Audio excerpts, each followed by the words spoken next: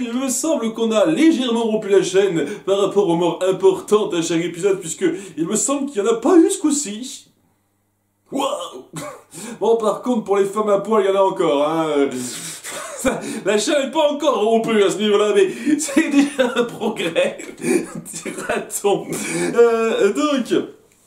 Euh, on va très rapidement poursuivre l'histoire euh, euh, de Daenerys alors qu'on va pas voir la suite de l'histoire de, de Jon Snow où elle est toujours en train de faire sa traversée du désert. Et enfin un de ses guerriers revient avec de bonnes nouvelles par rapport à un royaume qui serait sensiblement prêt à les accueillir. S'appelle les Cartes ils ont surtout été très contents à l'idée de recevoir celle qu'on surnomme désormais la mère des dragons parce que je sais pas exactement. Elle a fait passer le mot exactement.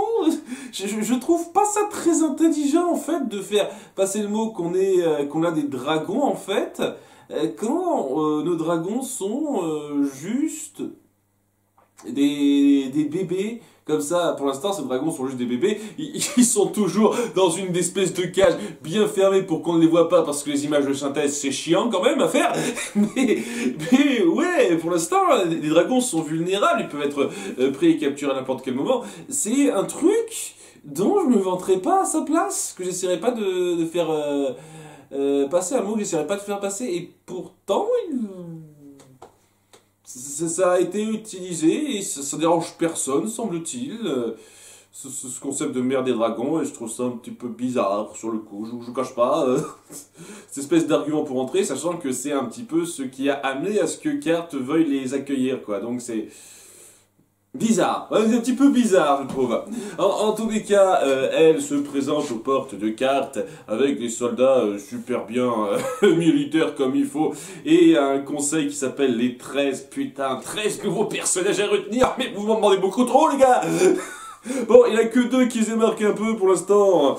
le chef des 13, le porte-parole des 13 qui se dit être un vendeur d'épices, et euh, le noir du groupe, en gros, hein, qui a un nom avec des X, un nom en X. Hein, il aime bien les X dans son nom, ce type, euh, sinon en de ça, je me souviens plus très bien. Et euh, ouais, quoi, le porte-parole leur dit, ouais, on veut bien vous laisser entrer, mais...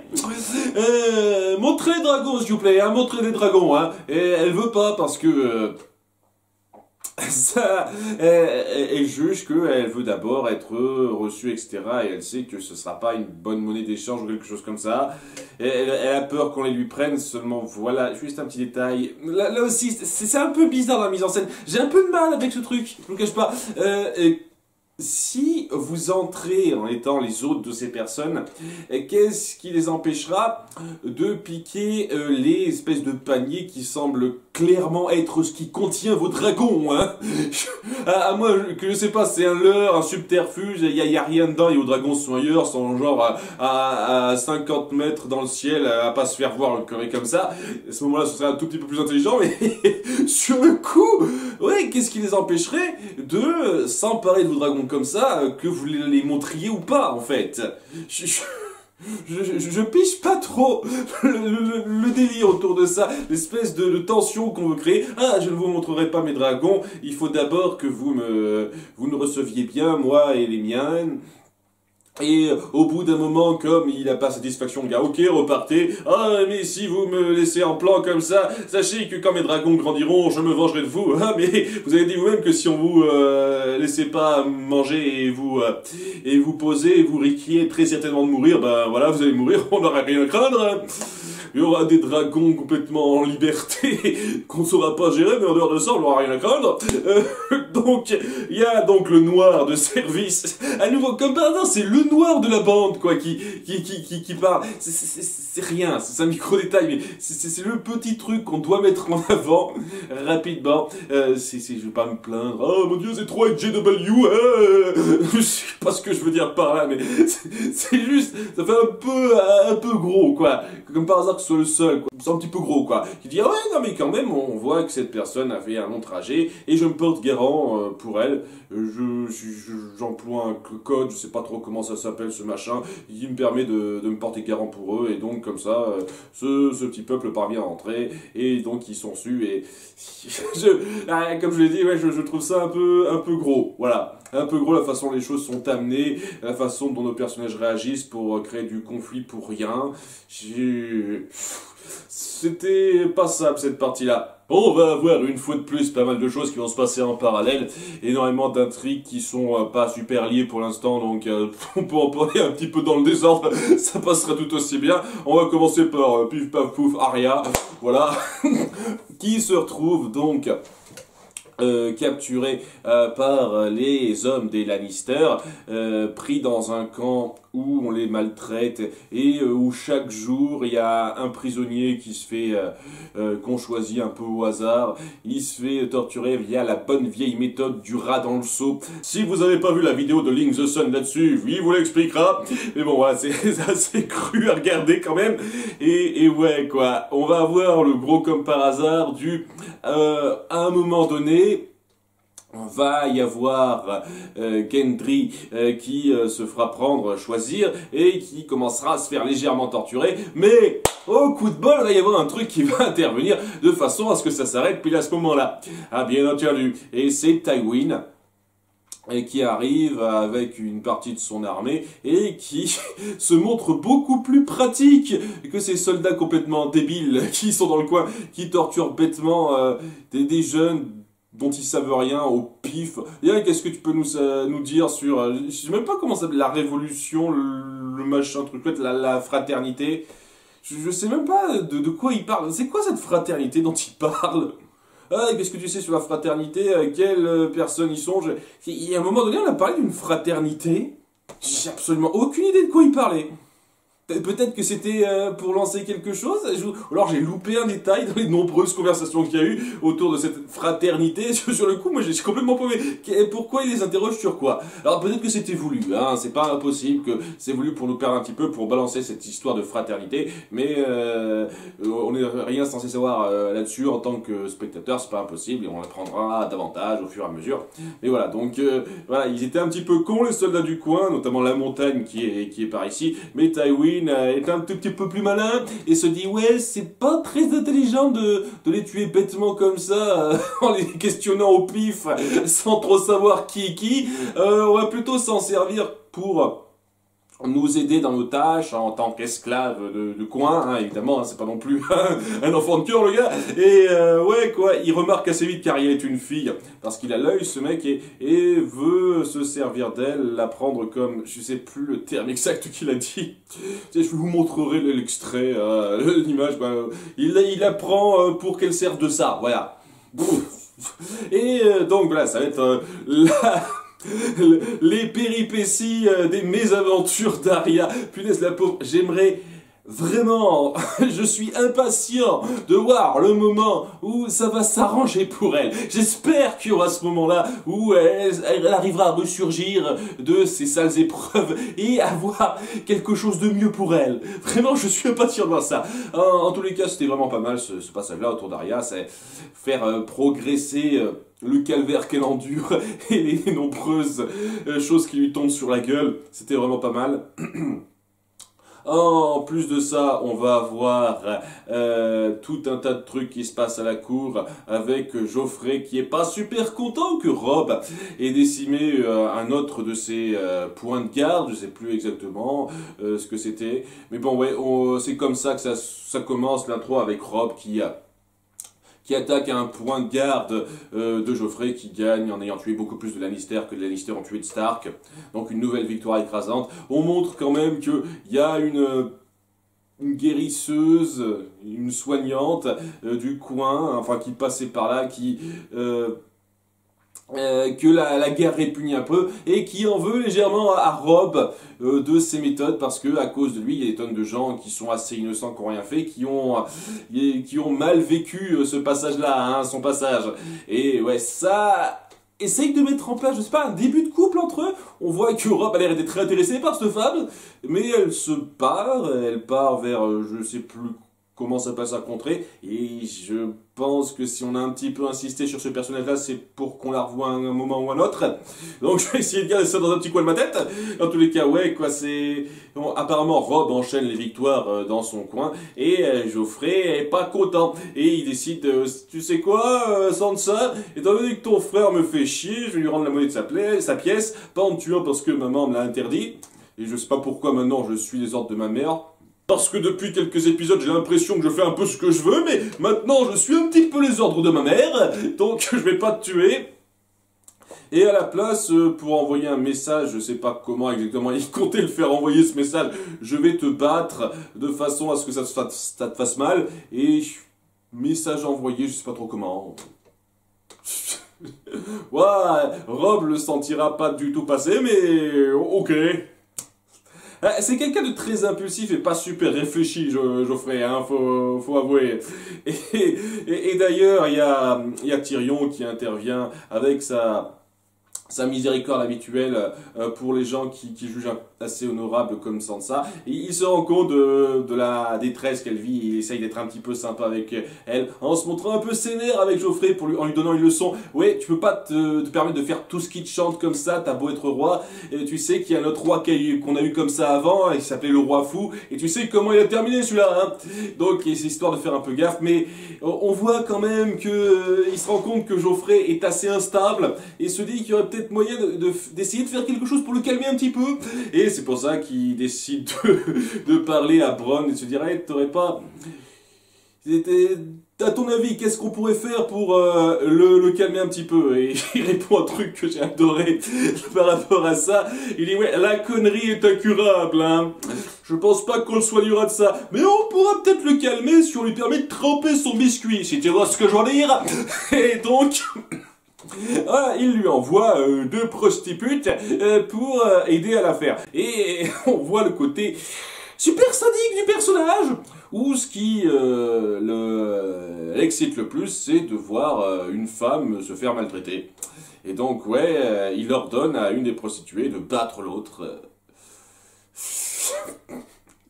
Je vais être tellement content quand il s'en prendra plein la gueule, ce personnage, vous imaginez pas à quel point je vais être content quand je vais voir tomber ce, petit connard. Et honnêtement, il n'y a pas un titre qu'il a reçu maintenant depuis le temps, euh, genre euh, l'infâme, euh, le sadique, un truc comme ça? Je suis sûr qu'il doit avoir un nom bien affreux, un surnom bien affreux de roi qu'on pourrait lui donner, ce type. l'infâme, le sadique, un truc comme ça. Le connard, ah bon, j'imagine que ce serait un petit peu moins classe, mais bon, hein, ça lui conviendra encore plus, quoi qu'il en soit.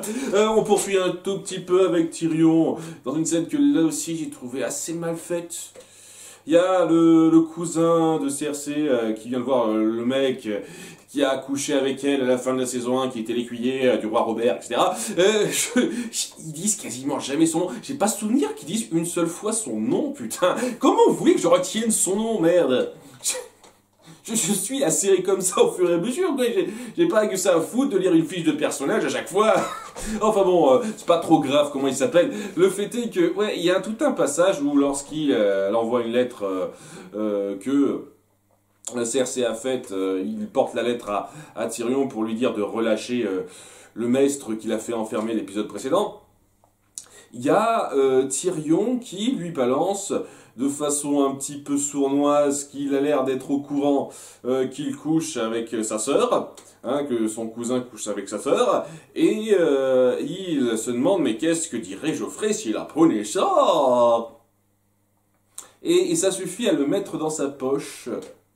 Euh, à, lui faire dire ok ne dites rien s'il vous plaît ce serait la faute pour moi et donc d'accord tu vas continuer tes, devoirs envers ta reine mais tu m'en informeras Hein, ok, voilà, c'est cette façon de se le mettre dans la poche. C'est, je comprends parfaitement l'intention, c'est histoire de dire qu'il est toujours euh, sur le qui-vive, Tyrion. Il essaye toujours d'avoir euh, euh, la main euh, sur ce qui se passe et d'avoir des coups d'avance, de, se mettre dans la poche le, plus de choses possible, histoire de, bien être préparé. C'est très cool ça. J'ai trouvé que c'était très mal fait.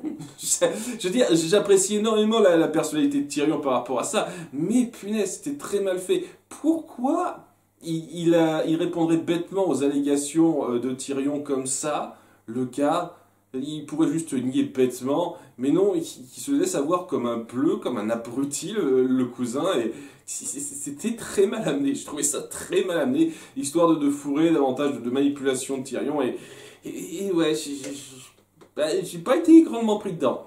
Voilà, c'est ce moment-là et le moment avec euh, Daenerys qui sont les, moments les plus discutables de cet épisode. Le reste, j'ai aucun problème, honnêtement. Il hein, n'y a, pas trop de soucis. Sachant que l'élément central de cet épisode, ça va être un petit peu euh, ce qui se passe au camp euh, de Renly et le conflit avec euh, Stannis qui va venir.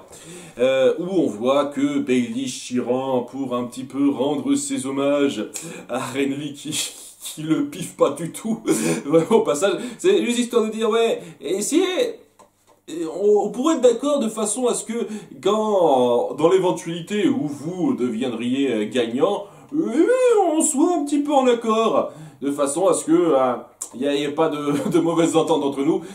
C'est là un mec qui sait se mettre le plus d'atouts dans les manches possible. Hein. C'est pareil avec Varys. On, sent que c'est des gens qui sont préparés, super pragmatiques.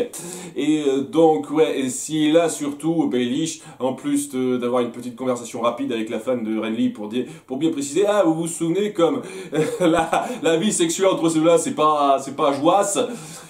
Ok, hein, donc c'est bien appuyé ça, on l'a vu. le plus important, la raison pour laquelle il est là, Bellish, c'est surtout pour essayer de passer un marché avec avec Kathleen. Le marché en question, c'est ce qu'avait lancé Tyrion dans l'épisode précédent. Il a envoyé Baelish ici, de façon à pouvoir parlementer un petit peu avec elle, de façon à ce qu'elle puisse, de son côté, euh, échanger Jamie contre Arya et Sansa, sachant que ils n'ont pas Arya. ils font comme s'ils l'avaient. C'est assez marrant de voir ça. Hein, J'en ai pas trop parlé, mais il y a vraiment ce, jeu où personne ne sait ce que fait Arya, quoi.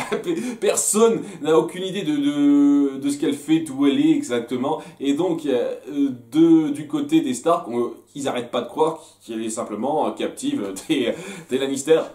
Si elle jamais accepté cet échange-là euh, dans le dos de, son fils, est-ce que comment comment elle le prendrait de savoir qu'en fait ils ont seulement Sansa hein? Hmm, Je ne sais pas. Euh, en, tout cas, ouais, c'est un petit peu ce qu'il a lancé, sachant qu'on met un petit peu en avant le fait qu'il est toujours attiré par elle et elle le repousse un petit peu vite parce que elle a conscience que qu'il a trahi son mari en dépit de ce qu'il essaye de se défendre.